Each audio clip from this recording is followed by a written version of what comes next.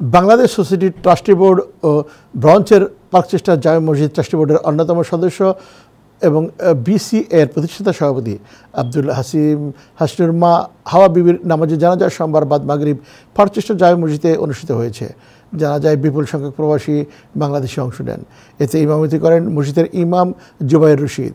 এতে কমিটির বিশিষ্ট ব্যক্তিদের মধ্যে টাইম টেলিভিশনের সিও বাংলা পত্রিকার সম্পাদক আবু তাহের সহ আজমল হোসেন কুনু বদুল হোসেন খান, আতাউর রহমান সেলিম, রুহুল আমিন সিদ্দিকী আজিমুর রহমান বুরহান, আলমাস আলী, মোহাম্মদ আলী আব্দুল শহীদ আব্দুর রহিম বাদশাহ আব্দুর রকিব মন্টু জাহিদ মিন্টু, অ্যাডভোকেট নাসির উদ্দিন সৈয়দুল খসরু মনুল ইসলাম মনুজ্জামান চৌধুরী অংশ নেন। উল্লেখ্য, রোববার বিকেল চারটা পঞ্চাশ মিনিটের সময় নিউ ইয়র্কের আলবার্ট আইনস্টাইন হসপিটালে শেষ নিঃশ্বাস ত্যাগ করেন তিনি।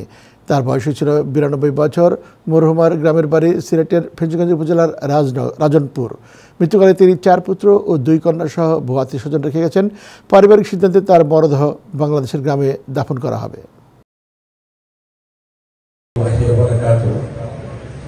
প্রচেষ্টা জামে মসজিদের মুসল্লিয়ান বিভিন্ন জায়গা থেকে আগত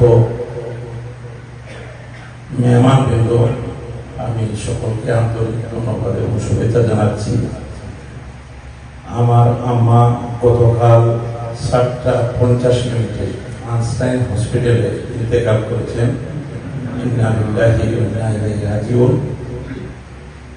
আমি এক মিনিটের মধ্যে শেষ করব, আমাদের ধৈর্য রোপণ করব না।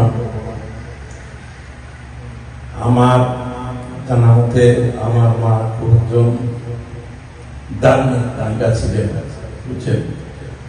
আর যদি আমার মা মহিলা হিসাবে বলতেই হয়, যদি কারের মনে কোনো আঘাত দিয়ে থাকেন, যে জীবনের কাছে তাহলে আল্লাহ আস্তে আমার মাকে মাফ করে দিলেন আর যদি আমার মার সাথে দেনা দেনা থাকে থাকে সেটা আমাকে বললে আমি আপনাদেরকে সাথে সাথে পরিশোধ করার চেষ্টা করব।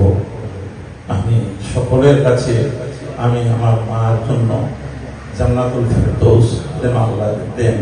সেই দোয়াটুকু আপনাদের কাছে আমি চাচ্ছি যে আপনারা সকলে আমার জন্য দোয়া করবেন।